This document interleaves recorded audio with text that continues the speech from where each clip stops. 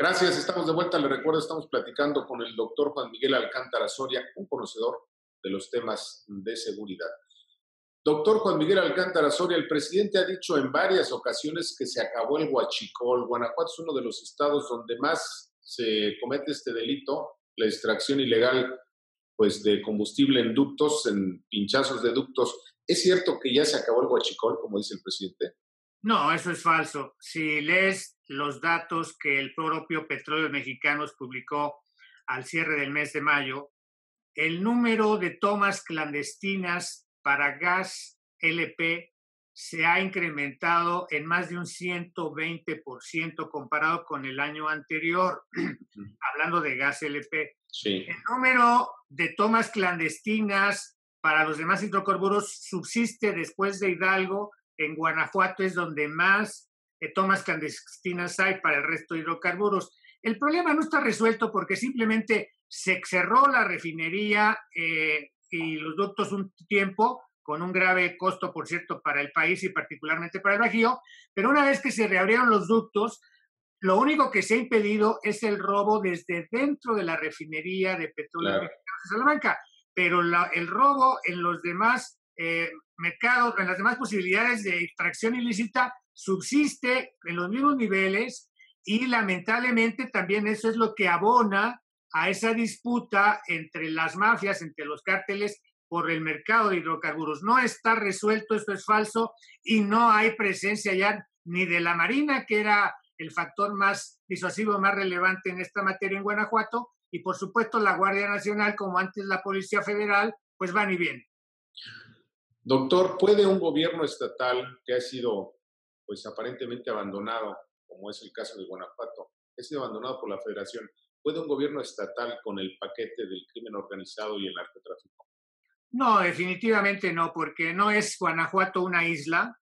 Eh, si estamos, eh, tanto por el cártel Jalisco Nueva Generación, que ha evidenciado que su sede, el propio estado de Jalisco, eh, está empoderado y también a Jalisco se le ha dejado solo en el combate contra, este, contra esta mafia, bueno, y en Michoacán ya no se diga todos los grupos delictivos que están operando en los dos estados limítrofes con Guanajuato. Si la federación no hace su parte por lo que tiene que ver con el perseguir a la delincuencia organizada, pues por mucho que Guanajuato hiciese para impedir los secuestros, las extorsiones, los robos que son competencia de los estados, sería insuficiente por ese ambiente, ese clima propicio a la delincuencia que el gobierno federal está provocando. Ahora, ¿qué significa, doctor Juan Miguel Alcántara Soria, que en una reunión tan importante como la de hace unos días, un encuentro entre los presidentes eh, Obrador y Trump, el tema de la seguridad, de la persecución contra los grupos criminales, los cárteles, prácticamente haya pasado de noche? Fue ignorado. ¿Cómo entendemos esto?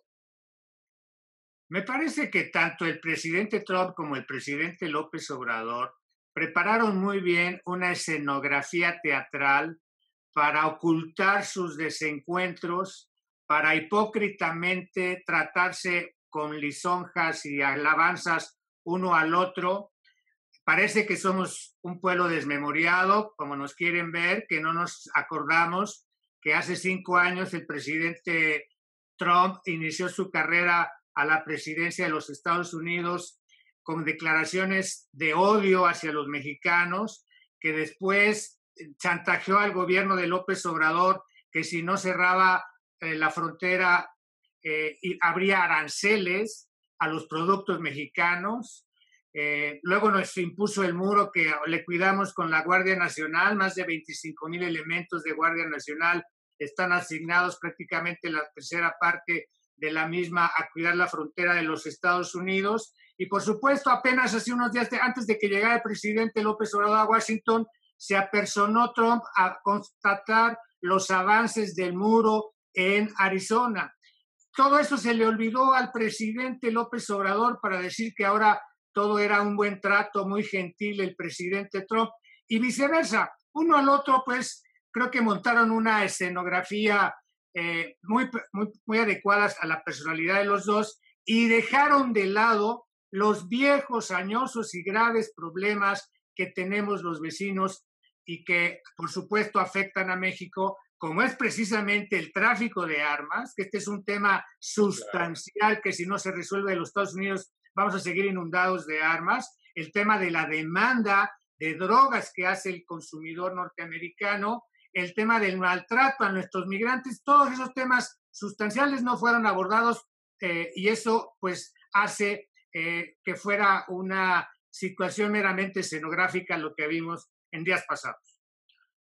Doctor eh, Alcántara Soria, Guanajuato es un estado de estos conocidos como binacionales, tiene una muy importante población viviendo en Estados Unidos y por supuesto es una población también muy importante que envía remesas a, México. Esto, eh, ¿cómo coloca a Guanajuato, sobre todo cuando es abandonado por el gobierno federal?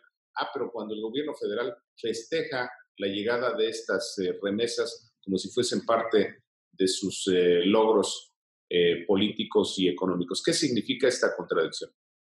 Bueno, pues no reconocer precisamente las causas que dan origen a que miles de guanajuatenses migren al norte del continente para buscar sobrevivir, subsistir con sus familias, porque no hay los empleos, no hay la capacidad para ocuparlos en nuestro país. Por un lado, Guanajuato por el otro, como bien señalas, tiene una añosa eh, migración establecida ya en San Miguel de Allende particularmente, eh, que por supuesto siempre es eh, muy bien monitoreada por las autoridades norteamericanas para cuidar que no tengan ninguna afectación y siempre prenden alertas cuando sienten que puede tener algún tipo de afectación.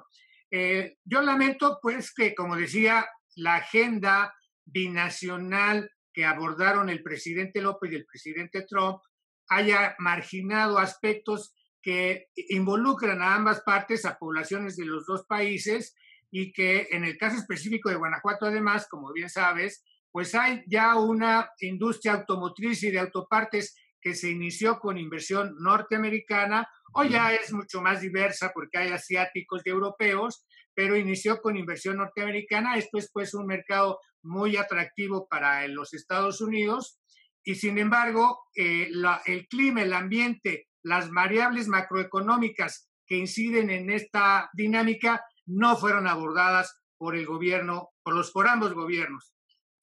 Por último, en un minuto, eh, doctor Soria, ¿qué, ¿qué, reacción va a tener el PAN, el Partido Acción Nacional, que es el partido que gobierna Guanajuato, frente eh, pues a este abandono de una de sus entidades fundamentales? Yo quiero ver a un comité ejecutivo nacional con una capacidad de indignación eh, ante este trato diferencial del presidente López Obrador entre la jefa de la Ciudad de México y los gobernadores del PAN o en general de partidos distintos al del presidente. Debe haber una respuesta puntual de, de planteamiento de trato parejo, de piso parejo para todos, por un lado, de exigencias puntuales a atender por el presidente de la República en materia de seguridad, en primer lugar, eh, de, no eh, maltratar en sus mañaneras con este trato diferenciado a los gobiernos locales a propósito del coronavirus. Debe, pues, ser un jefe de Estado y no un jefe de facción. Muy bien, doctor, gracias. Se nos terminó el tiempo. Hasta la próxima.